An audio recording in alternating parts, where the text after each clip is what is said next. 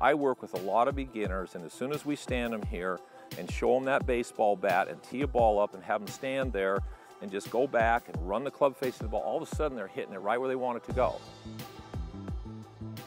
This video is for golfers who are not golfers yet, but hope to be. So if you've never picked up a golf club, or if maybe you've done it a couple times, but never really got into it, but you're looking to go further, we have the man for you here. Here's Mike Malaska. How's it going, Mike? Good, Brendan. How you doing, pal? Good. Good to see you. So uh, we're talking about people. So maybe they have like a, uh, a company tournament that they have not practiced for that's coming up soon, or maybe they're like, okay, this is the summer. The kids are finally out of the house, and this is I'm going to actually give golf a go. Okay. What do you tell to a brand new golfer? Well, first of all, we're talking about a stationary ball and it's understanding some basic concepts and you can get to where you can get it in front of you and hit it pretty solid pretty quickly if you don't get confused with a couple of things. Uh-huh. Okay, so the first and most important thing is to understand that what we're trying to do is we're trying to hit this ball with this club face. Now this is a big club face, so what are we trying to do? You're trying to run this club face into that ball on an angle and make it go the direction you want it to go. So that's basically what the game is, is it's face control. It's being able to control this face. If I want to hit it out this way, the face hits it that way. If I want to hit it straight, if I want to curve it this way. So this is where the game is played. It's played with the face. So how do we control the club face? Well, you control the club face with your hands. So here we've got a, there's a baseball bat. So if I was going at the camera, and this is how I perceived the game when I started. Yeah. So I didn't see this. It's not, this is not the bat. That is like an extension of your left arm. So the bat is the club face. So you've got this bat down there and you're gonna either hit the ball to right field or hit it to center field or hit it to left field. So you're controlling the bat with your hands. So the first thing people need to know is once they put their hands on the club, which we'll talk about in a minute, all we're doing is we're trying to control the club face, to run the club face into the ball to make the ball go where you want it to go. Yeah. If you don't control the face, if you don't learn that first, and you start with the big movement patterns of your body, it's going to be a nightmare. Yeah. Because as soon as you start, the more you move, the more control you have to have of your hands to be able to square the club face on the ball and make the ball go where you want it to go. Yeah. So the first is educating your hands or training your hands how to use the face minimal amount of body motion, and get face control. If they do that, they're going to start hitting some really good shots. If you come out and you just start moving your body and you think somehow the face is just going to automatically show up, it, it is, it's very difficult. So the first thing is how do we get, what are we focusing on, which is the face. What controls the face? Our hands. Now, how do you put your hands on the club? Great point, yeah. Probably the most important thing I could say to people, come on over here, Brent. Okay. So put your club down. All right, when all of you, when you go to take a hold of a golf club, the biggest mistake people make watching them in this game is they put the club way too much in the palm of their hands. When you get it in the palm of your hands, your wrists don't work correctly. Mm -hmm. So how do we get it more so in the palm your... of the hands? you mean like yeah, all so, this fat part so here? it's right through. Yeah. They get it right in the middle of their hands this way. Either they turn yeah. them this way, but the club's in the palm of their hands. Mm -hmm. If you watch good players, the club is more in their fingers. It's predominantly in their fingers. Okay. But so if I held this up like this and I said, all I want you to do is take a hold of that, just grab it. Okay. It's going to go more into your fingers. Uh -huh. The reason is because the club head is above your hands. Yeah. So if people would just take, it wouldn't even matter if their grip was right. You just took a baseball grip. Yeah. That's fine, yeah.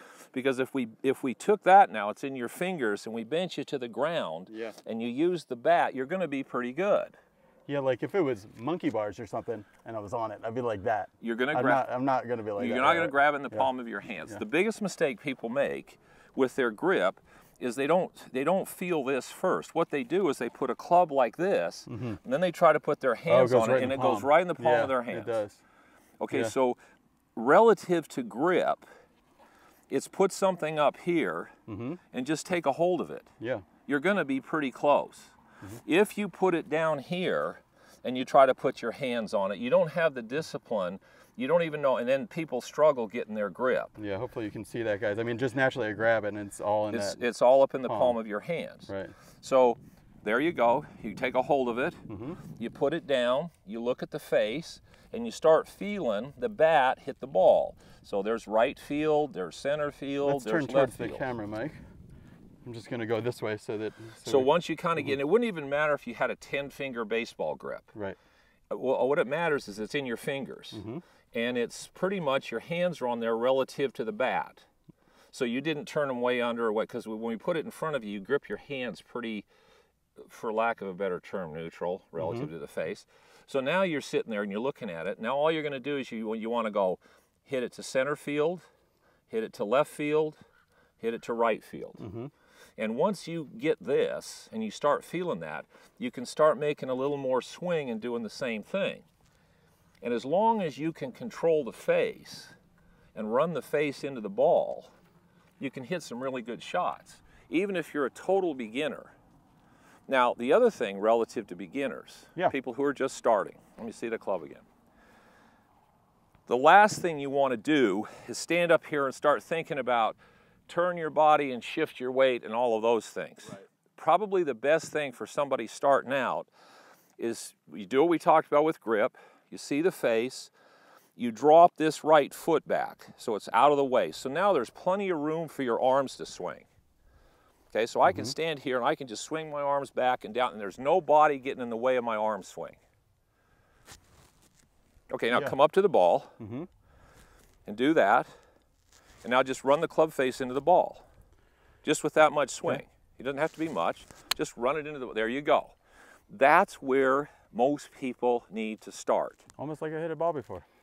Well, Yeah. you But have, that's but simple. it's yeah. very simple because now you're not thinking about how do I turn my hips? How do I get out of the way? How do I shift my because that's really at this point in time for most people that's not important. And I think an important part of this too that we see here, that's off at little t. Yeah. Well, know.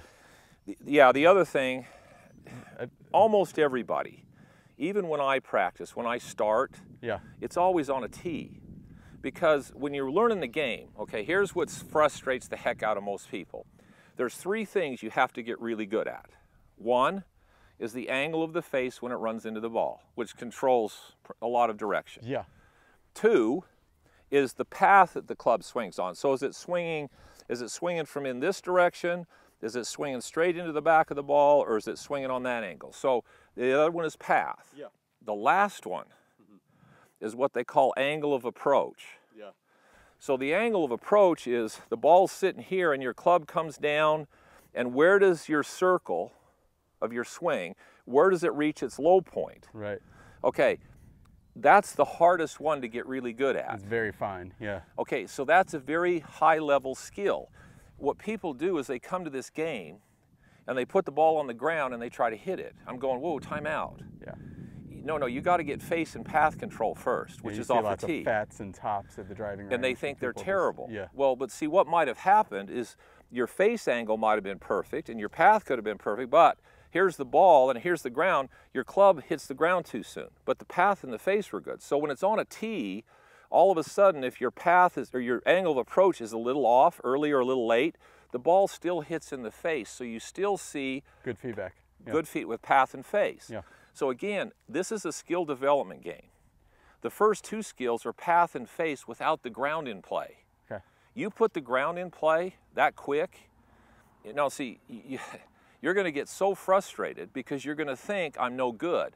Well, no, no. You just made the game. You assumed a level of control that you don't have. Right. So you get frustrated. Now, here's the good thing about people who are just starting you're going to go out and play. Now, unless you're playing in a tournament, you can tee it up every place. Nobody's gonna care. Yeah. Nobody cares. Yeah. So tee it up everywhere. I mean, that's how when I started, we used to call them twisty lies. So what we would do when I was 12 or 13, we'd take the grass and we'd twist it so it made a tee, and then we'd stick the ball up on the grass. Mm-hmm. Why? Well, because then we could get it in the air all the time. Yeah. You know, we didn't want to hit it off the ground and top it. Right. Okay, so don't bring the ground into play until you're ready. Mm-hmm. Even really good players, the better you get, people don't want to hit it off a tee. And I go, wait a minute, you're going to play golf tomorrow. They go, yeah. Well, how many times do you get to tee it up? Well, 18. I go, okay. So if you're practicing off a tee, at least 18 times you get to tee it up. If you hit those 18 pretty good, probably the rest of them you might be okay. Yeah. Okay, so don't be afraid to tee it up because half the shots you're going to hit, or, or, or, a fourth of the shots you're going to hit, are going to be off a tee anyway. So why are you? Why don't you want to practice off a tee? Yeah, let's start at least there. Start yeah. there. Everybody should start there. I really like that, Mike, for, for beginners. Drop the foot back and just run the face into the ball. What's the second thing you'd like to see people get into when they're first starting? Well, the first thing is understand the face. Right. Oh, sorry, the third thing. Yeah, right. Okay. The second thing, get your body out of the, don't don't involve your body too much. So it's not only the, the foot's going back, but it's also most of the weight's on the on yeah. yeah. Yeah, So you're you're basically just sitting there and you're making a swing, and now your body's out of the way. It's going to pivot on your left hip. You're not worried about. All you're doing is creating some space and hitting it with your arms. Great. Now you're you think you're hitting it with your arms, but we watch you. There's a lot of body motion going on there. Yeah, it's just happening. Okay. Yeah. You want to you want to let it react naturally. So by dropping your foot back, you've naturally set the hip turning out of the way. It's just going to do it because it's mm. already there. So you don't have to stand there and figure out, okay, so how do I turn my hip and not sway and not do this? And so then you get thinking about too many things. Yep. So you basically created a base where now all you got to do is just swing your arms and run the club into the ball. Mm-hmm. The next thing is don't be in a big rush to see how far you can hit it. Okay. It's all about, you don't want to swing very hard. You want to just hit it solid. So if you went out and just hit it solid most of the time and in front of you, I, how far it goes is not of any value. See, control of the ball is more important than distance. We just saw that in the Ryder Cup. It's, it's, when people start out by trying to, how far can I hit it? Yeah. That assumes a high level of face control which they don't have. So you get more frustrated. So you should say, how many times can I hit it in the face and get the ball in the air? If I, if I add more speed and I start missing the ball or not getting it in the air, you better back it back down because mm-hmm. more speed is not going to make you better. Right. It's going to make you worse. So you have to be disciplined enough to come to this game and have your own self-discipline relative to speed. Other sports, tennis, baseball, skiing, either the speed of the ball coming at you or the severity of the sport force you to a pace you understand or you can't even participate or you get hurt. Right. See, golf allows yeah. people to go faster than they're capable of really handling. Yeah. And occasionally the club runs into the ball and they go, I got it. I go, well, you got lucky. Yeah. You can't duplicate that. Mm-hmm. So because there's not much penalty other than the ball goes crooked, people go way, way, way too fast, way too soon with no control of the face. Right. You get face control first, you're going to have fun with the game. If you don't develop that educated hands and face control, I don't care how much you play, you are going to reach a plateau where you will not get any better. Right.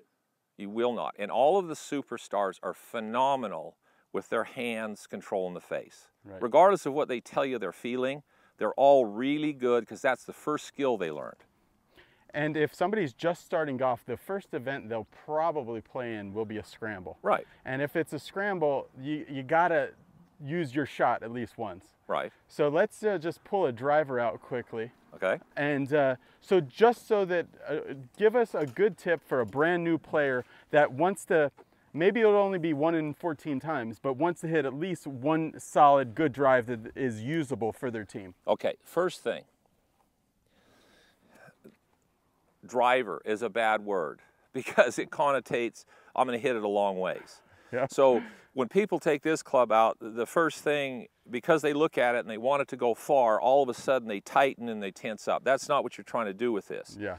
So with that same setup and just swinging my arms and just running the club into the ball solidly. So my focus here is to run the club face into the ball solid. That's I, I'm not how far I hit it with just this much swing and running it into the ball solid, see that ball is going to go about, well, that's going to go well over 200 yards. Yeah. So when you watch that, you're going, wait a minute, he didn't, he hardly turned it all. All he did was run it in. So all you're trying to do with this club is keep your tempo and just hit it mm -hmm. solid and actually feel like you're swinging slower with this. You really got, like you always say, the brain is the taskmaster and you really got to put the task in your brain, not to, to swing as fast, but what should the task be? Hit it Just solid. Hit it solid in the face. Just run the club mm -hmm. face into the ball solid. Mm -hmm. and, and, and keep the tension. Don't try to hit it far. Mm-hmm. You want to program your brain, I want to hit this ball solid. I'm trying to hit this ball solid, not how far am I going to try to Yeah. hit it. As soon as you Yeah. say, oh, I want this to go far, Yeah. see, that's speed. Well, if you don't have the right setup, if your brain doesn't know how to create speed Mm-hmm. and it does it incorrectly, you're in trouble. Yeah. So speed or hit it far is a bad word. No, I want to I want to maintain my tempo and I want to just hit it solid in the middle of the face. Yep. I just want to hit it solid in the middle of the face. If I hit it solid, that was a great shot. I don't care where it goes. If you do that, you're going to hit two or three tee shots that are going to count Yeah. Yeah. because you know you're probably going to be on a tee that's way up and if you just hit it solid and it goes over 150 to 200 yards relative to the other guys you're going to be out there almost 300 yards And how do you prepare these new golfers for the comments that they'll get if they go out to the course and they've got and they're on almost one foot really just trying to run it into the ball? Like when are they when are they able to take a more regular stance or, or when did they know like okay now I can start to take a regular stance? control of the ball starts to tell you when so if you can make more and more swing and you can control it then you can start letting your body do more Yeah. What's really interesting though is you watch a lot of the superstar tour players, a lot of them play from closed stances and a lot of them their right foot drags this way when they hit it. Mm-hmm. So what's happening there? Well, that foot drag and that foot back keeps their right hip out of the way, makes room for their arms. So even at the very highest level, mm-hmm. you've got some superstar tour players that are playing from here. And and actually, if you watch the tour, most of these guys, if they're going to really hit one hard, you watch them, they'll drop their right foot back. Why? Because even at that level, the tendency is to get tight and not get out of the way where your arms can go. So they'll drop their foot back, and that lets their hip get out of the way, and it gives them room to get their arms coming into the ball correctly. So don't be in a rush to go back to square and doing everything. Right, right. That isn't necessarily the magic bullet, and that's not necessarily where we're all trying to go. You know, that's another bad misconception in this game is that this square stance, square, square, square. Okay. However, hardly any of the tour players play from square, everything. Yeah. So the best players in the world are a little open, they're a little closed, they're here, they're there. Well, why are we taking everybody and saying square? Uh, There's a reason, but initially, you've got to give your arms space Right. So you can hit the ball with no body motion at all, and just this, and just hitting it like that. Because at, at the level of play, player that that our viewers are at for beginners, body effort and body speed can really just sabotage what you're trying to do with the face. Well, well, because the more your body moves, the more what you're what you're uh, assuming is that you have control of the face. So the more your body moves, your hands can make the face show up, yeah. And most people don't. So in any sport, you you start with the smallest motions, and you keep adding and adding and adding motion. If you lose control, you don't add more motion Right. you break it back down again. So we want to use what we can that's the least amount of motion that creates the most potential distance with the least amount of timing. As soon as you start adding weight shift and body turn and all that, you're assuming a level of control of that face that, that most people don't. So they get frustrated with the game early. Mm-hmm. I work with a lot of beginners, and as soon as we stand them here and show them that baseball bat and tee a ball up and have them stand there and just go back and run the club face of the ball, all of a sudden they're hitting it right where they want it to go. And they go, well, that's good, but how do I make it go further? I said, well, Yeah. okay, we're not ready for far yet. Make a little more swing and see if you can still hit it and make it go where you want it to go. And all of a sudden, we find a length of swing and a speed where they no longer have control. Back it off. Mm-hmm. Now, if you if you progress that way, and your hands are on the club correctly, you're going to get pretty good pretty fast. If your hands are on the club incorrectly and you don't have any face control, I don't care how good this moves, you're never going to play very good. Okay, guys, you can learn when you're ready for that next level. You can learn a lot more about it at Malaska Golf. Alaska Golf, that's right, MalaskaGolf.com. A great resource with a whole bunch of videos there. And also subscribe to Be Better Golf. Welcome to Golf. I think you're going to like the videos uh, on Be Better Golf and also Mike's YouTube and website pages as well. Thanks for watching, everybody.